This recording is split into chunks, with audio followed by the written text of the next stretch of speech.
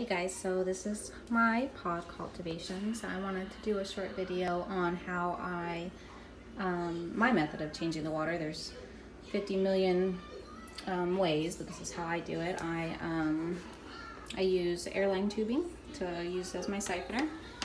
And then I grab all of the fallen phyto um, and detritus from the bottom.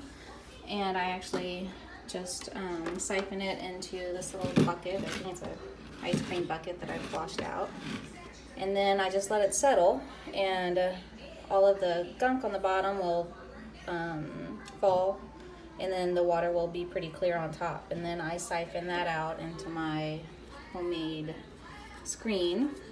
I will um, grab the the cleaner water from the top and then siphon it through the screen and discard the water afterwards and then I just flip it over and um, use my dirty tank water and a cup and um, just kind of wash it over. I do um, end up taking the screen out and rinsing it in my main tank just to make sure that I don't, I guess, lose any pods.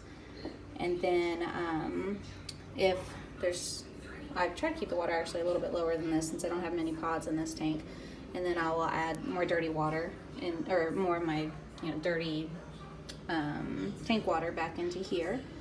And then all of the stuff that collects at the bottom of this, there's still pods and some water in there. So I actually save it and I put it in this bucket. There's about an inch of it down there and a bunch of pods in there. I don't know if you can see them. And then I'll siphon the this water out every so often and do the same thing and then dump the, uh, the pods back into my cultivation tank.